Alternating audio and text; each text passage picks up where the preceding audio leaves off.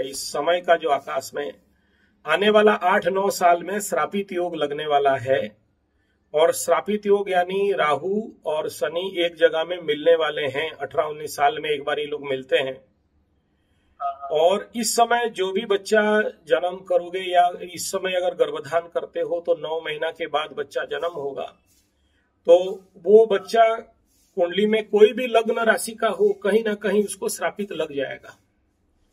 और ऐसे श्रापित लगना मतलब आप माता पिता के लिए परेशानी बनता है और उसका ज़िंदगी में भी परेशानी बनता है।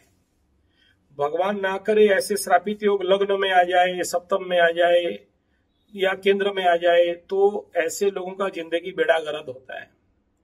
तो इसलिए इस समय हालाँकि बहुत अच्छा योग है इस समय, केतु का अंतरदशा शनि में केतु और केतु पुत्र कारक पुत्र देता भी है, मना नहीं है।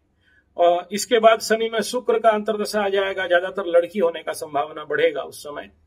तो मैं यहाँ पर आपको कहूँगा कि चाहे मकर राशि का हो, चाहे और कोई राशि का हो, या आप जैसे कर्क लग्न का बात कर रहा हूँ, या आपका बीवी का वृषभ का बात कर रहा हूँ, कोई भी हो, वर्तमान परिस्थिति में गर्भधारण करने के लिए किसी भी व्यक्ति को मैं मना करूँगा।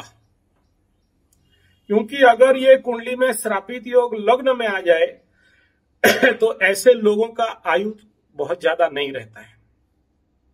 आजन, बीमार बीमार बीमार, या फिर कोट कचरे माली, मकदमा, या किसी किसी का आँख खराब, किसी किसी का आँख में डैश डैश डैश, समझ लो, जितना लंबा ये सब बोलने के लिए अच्छा नहीं लगता है। तो और ऐसा है ना, ये जो श्रापित योग जब तक नहीं पार होता है मकर राशि के साढ़े साथी के एरिया टाइम एरिया में आ, मतलब उससे पार नहीं होते हो। तब तक मैं कहूँगा कि इस समय हालाँकि मकर राशि का पूरा योग है। पंचम में गुरु बृहस्पति चल रहे हैं संतान योग बन रहा है कर्क लग्न का लाभ में है संतान योग लाभ से पंचम को देखेंगे। संतान योग ये साल तो प्रचंड रूप में पड़ा है ठीक है? तो परंतु ये कंडीशन में अगर आप बच्चा पैदा करते हो जब तक श्रापित क्रॉस नहीं कर जाता है तब तक ठीक नहीं है। अच्छा दूसरा अभी श्रापित का प्रारंभिक मतलब जो इम्पैक्ट है वो भी पड़ना चालू हो चुका है। शनि और राहु, राहु। मतलब अभी आकाश में ऐसा हुआ है ना कि शनि भाग रहा है और पीछे पीछे राहु दौड़ा रहा है। मतलब शनि बकरी हो गया राहु तो ऑलरेडी बकरी था तो दौड़ा रहा है। फिर से जब बकरी होंगे तो बहुत क्लोज कंजेक्शनल एनर्जी मिलना चालू हो जाएगा।